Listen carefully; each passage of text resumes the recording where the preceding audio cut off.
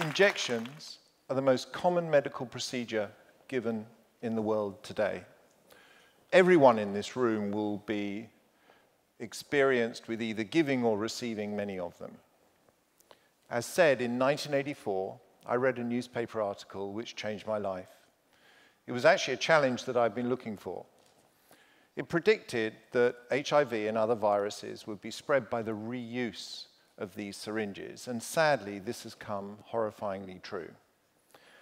I'm going to show you a video that was shot undercover in East Africa by a medical student. He buried his phone in a notebook and asked to observe a nurse at work. Here you can see the nurse in her nice white uniform uh, taking a syringe out of a tray, but you'll notice that it doesn't come out of a packet or have the needle cover removed. This is highly suspicious. After the injection, you'll see that she puts the syringe back in the nice white tray.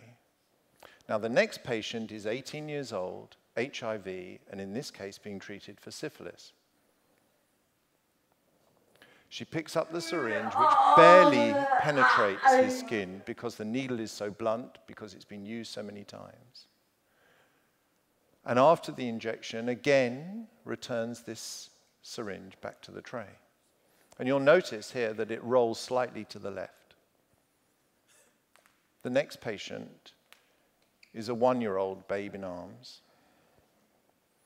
The nurse again picks up that syringe from that left hand position and injects the baby.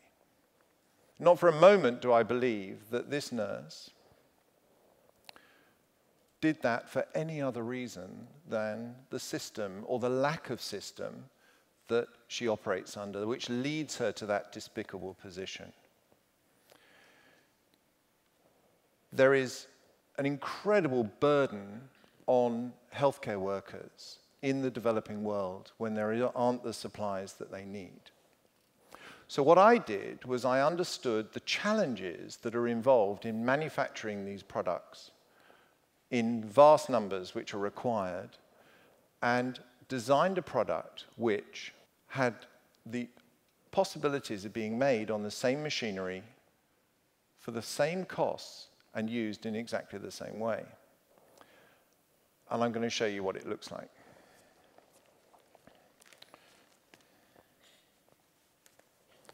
It lined up here. So, here's the syringe that I mentioned.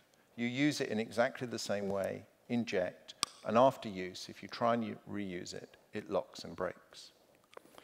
Now, being single use, guaranteed single use, it offers an amazing advantage over the syringe that you've just seen in that video. WHO say that 1.3 million deaths occur every year because of the reuse of syringes, which is actually twice the number that occur from malaria. On top of this, 20 million transmissions of hepatitis B take place every year. And actually, in the rankings, makes this the ninth biggest cause of death in the world. I've seen a woman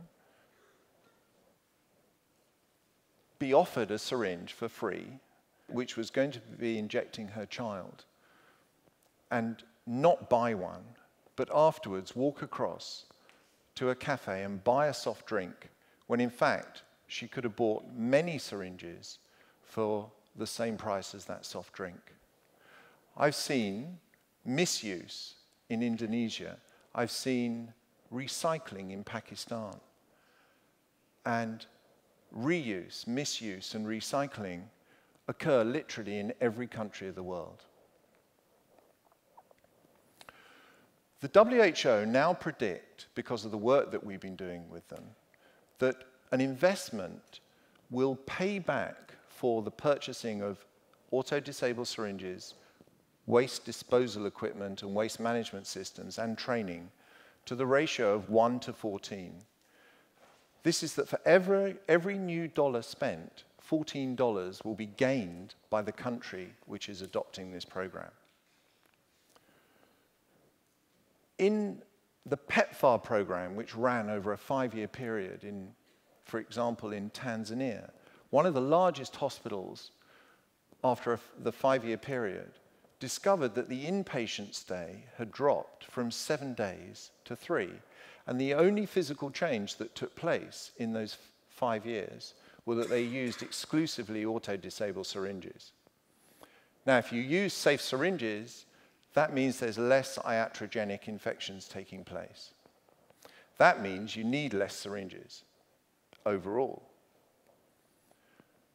In 1999, the World Health Organization, with other partners, got together and made a global policy that said that auto-disable syringes had to be used for every single injection given, but for immunizations.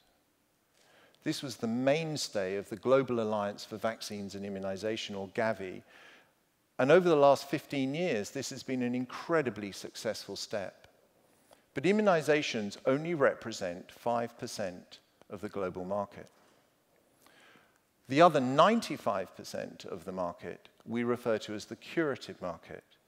And there is no policy guiding these. And that's where the problem lies.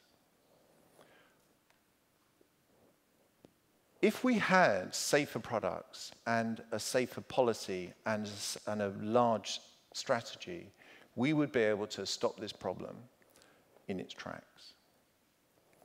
And today, I'm really delighted to announce that we've taken a really major step forward in making this happen. And I'm going to ask Dr. Marie-Paule Kieny to tell us what that is. Good afternoon. My name is Marie-Paule Kieny, and I'm Assistant Director General for Health Systems and Innovation for the World Health Organization in Geneva, in Switzerland.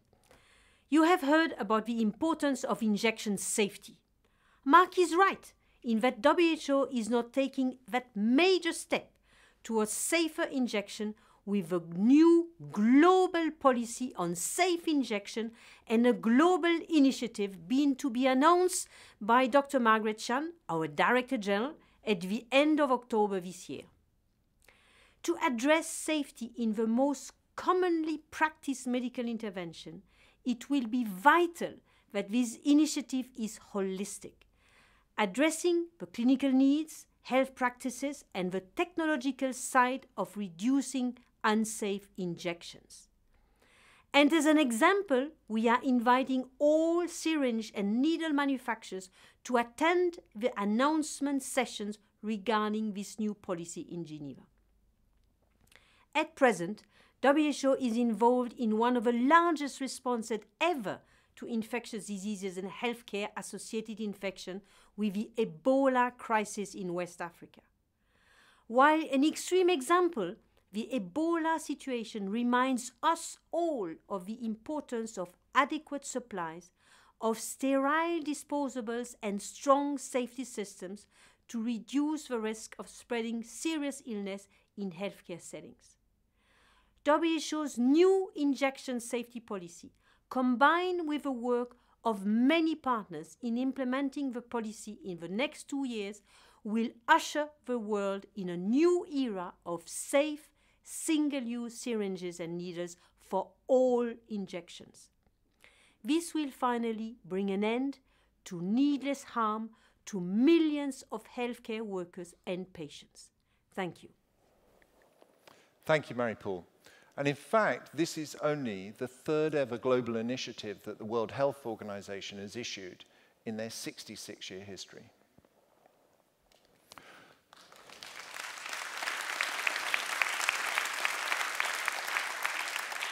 The branding that we're going to use is Lifesaver. Here it is. So imagine that we brand the syringes Lifesaver. What does that now mean? It means that the patients recognize which syringe to use.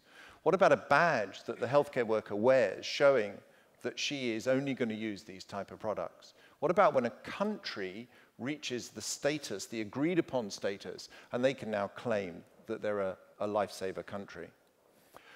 Now, there are many other components that make up this um, system, this new policy that we've launched, but there are six main elements. Let me show you. First of all, there's a policy, and we know how often these policies fail and they never deliver on their, on their promise. However, supporting the policy, the, it, we have got the funders who are now obligated to only buy safe syringes and needles for the customers that they're donating the money to, the countries they're giving the money to. On top of that, the manufacturers who today make about 20 billion reusable syringes for the developing world market are going to have to change over to safer syringes. The ministries of health are now obligated because of the policy. The healthcare workers are going to be in a situation where instead of reusing on average a syringe four or five times, they're actually going to have the ability to use the right materials that they need to do their job properly. And the patient who gets the roughest end of the stick is now in a position where they can trust the service that they're getting. Now, all this is combined together in the holistic approach that Marie-Paule mentioned. And this is what happens. The policy makes the manufacturers change to make better products. The manufacturers supply these to the market. The market has to because that's what the funders are paying them to do. That means then the patients are being delivered with safe in injections through the better syringes and needles, and all because the policy is watching the ministries of health and making sure they do the right thing. And you can see many other connections in this. And all of them, all of these connections support each other to make the system work. So if we are in global health, then we must include lifesaver policy in the future. If we're in finance, then we must make sure that these syringes are procured and supplied and used. If we're in uh, manufacturing or we have influence over manufacturing, we must take this step and move forward. If we're in the media, then we must talk, blog, film, write about it. And for the rest of us, let's tweet. Imagine a world in the next couple of years where we will have the opportunity to see these deaths reduced massively. Imagine a patient being able to go to a clinic and know that they're going to receive the treatment, which is now going to become much more efficient and efficacious to them. Imagine the trust that will build up there. Imagine the healthcare worker now who can be valued and valuable because they know that they're not crossing this border. Imagine the ministries and the pride that they're going to be able to show to their international donors that they have made the change and reached this target. To end, I would like to paraphrase Dr. Martin Luther King and say that we refuse to believe the Bank of Healthcare is bankrupt.